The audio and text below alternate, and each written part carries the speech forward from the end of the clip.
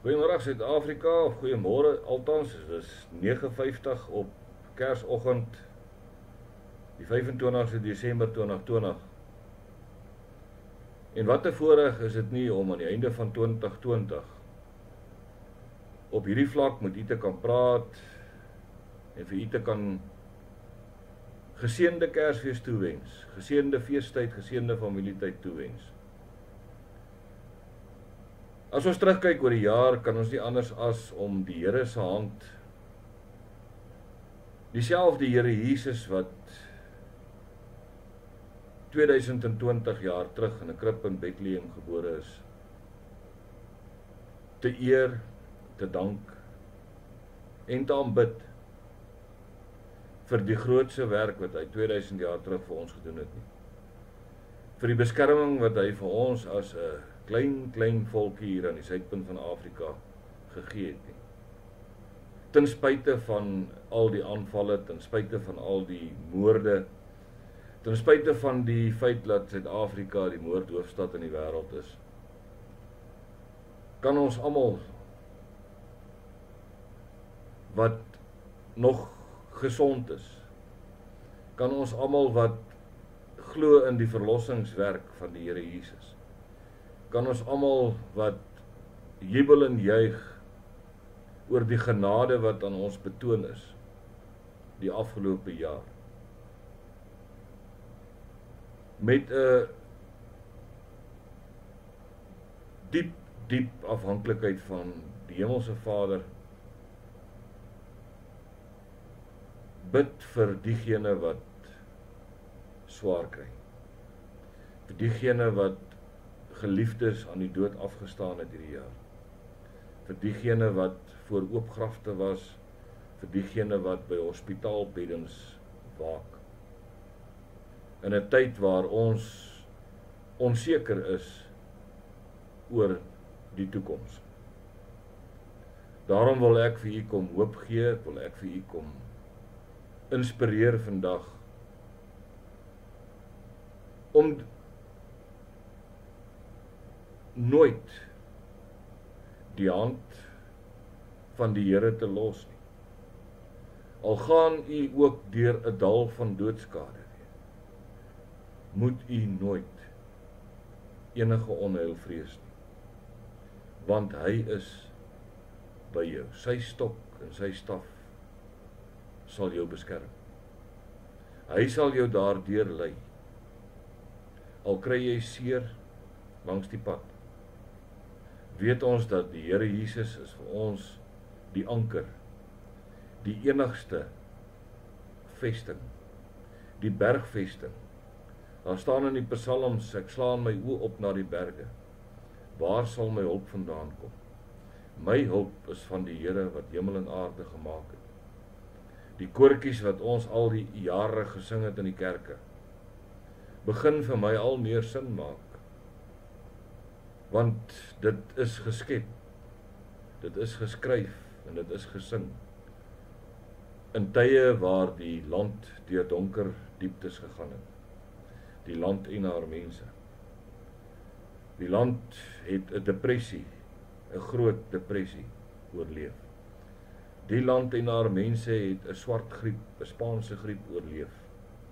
Die land en haar mense het die Anglo-Boereoorlog die twee vryheidsoorloë oorleef.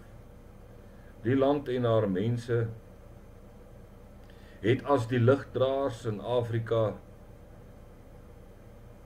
staande gebly ten spyte van aanslae wat vel teen haar gevoer was. Ek dink terug aan twee aande terug waar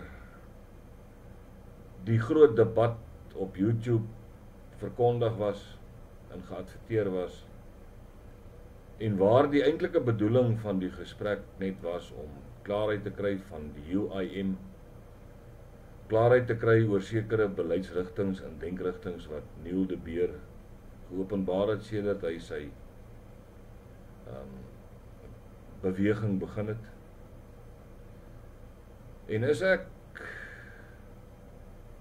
in baie opsigte oortuig dat Neil de Beer en die UIM met 'n spesifieke taakdoel en funksie in die politieke landskap van Suid-Afrika en kan hy 'n baie groot rol speel om ontslae te raak van die rowerbende wat tot op hede Suid-Afrika regeer het. Die rowerbende met hulle sidekicks Pompoenspook Malema. Die mense wat die land geplunder het. Die land verarm het en die mense van Suid-Afrika verarm het in so 'n mate dat hulle armer is as wat hulle ooit in hulle lewens was. Die tragiese deel daarvan, die rykes het baie ryk geword. Die middelklas is so te sê weg en die arm gemeenskap is besig om onder 'n sosialistiese en kommunistiese regering al armer te word in so 'n mate dat ons gewone mense op 'n punt gaan kom waar ons moet gaan bak aan staan vir 'n koppie meel, koppie suiker, bietjie koffie. En as jy vleis gaan kry, gaan jy baie gelukkig wees.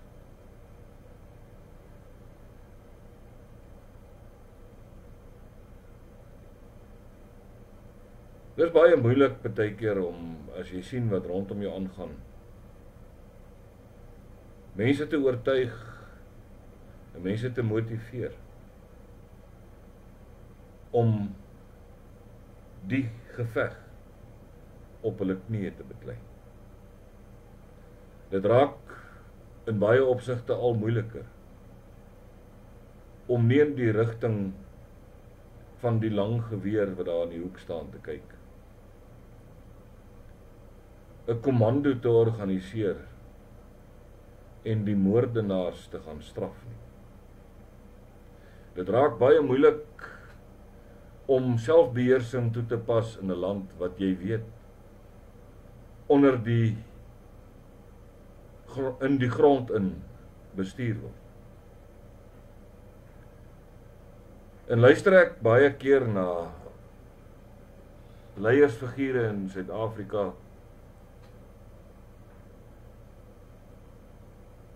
met 'n knippie sout vat ek wat hulle sê.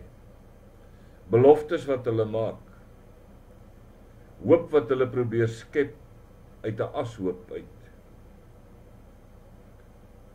Maar weet ek diep diep in my binnekant dat ons is nog nie op die punt waar 'n volk gemobiliseer sal word om terug te vat uiteindelik en oor te begin wat aan jou behoort nie. en oor te begin met dit wat oor 'n tydperk van 27 jaar in die grond in vertrap en geplunder is. In hierdie tyd reflekteer ek op die kosbare bloed van 'n Messias wat ons verlos het van sonde en dood en aan ons die ewige lewe geskenk het. En waar hy ons in staat kon stel om vreesloos ten aanskoue van die vyand te kan staan. Waar ons trots kan regop staan omdat ons integriteit het. En waar ons as kinders van die Allerhoogste as krygers in sy weermag die waarheid kan praat al kos dit ons ons lewens. En ons doen hierdie goed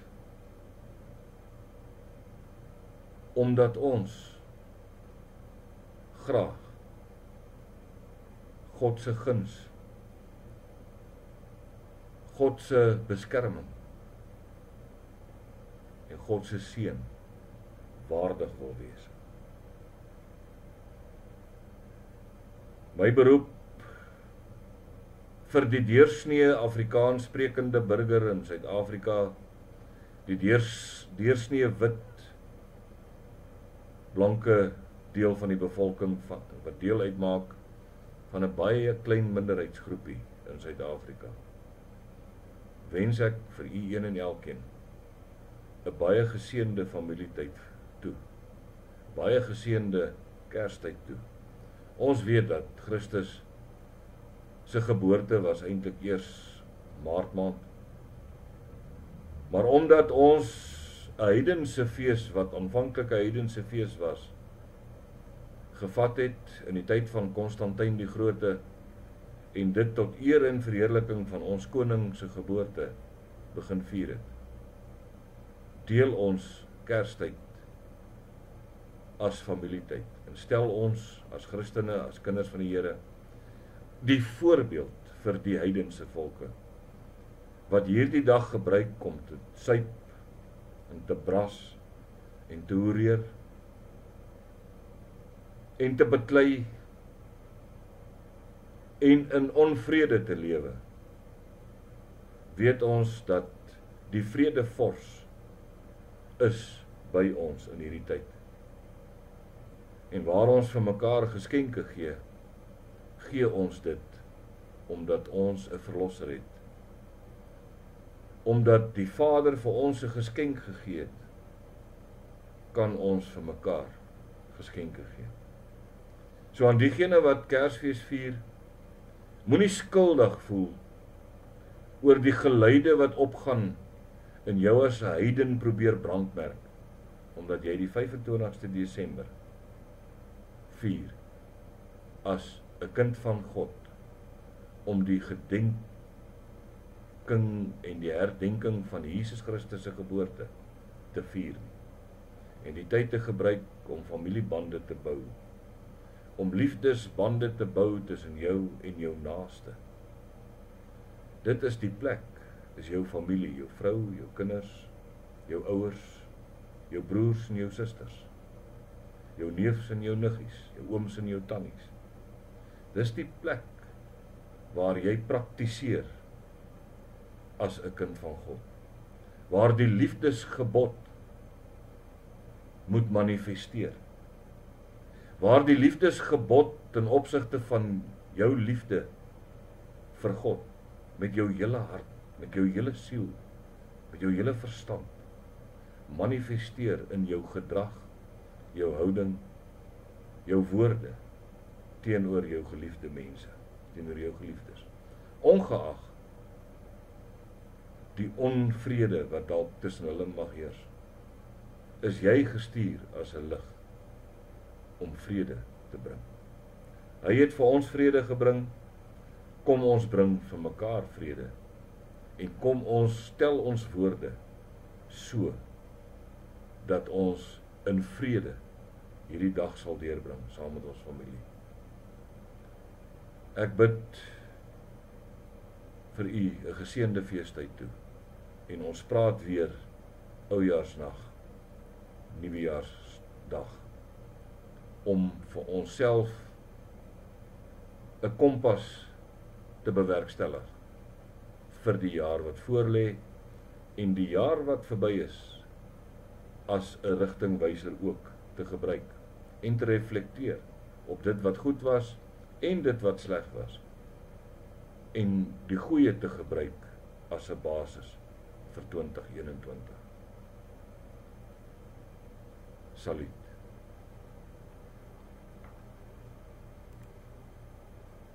Mm-hmm.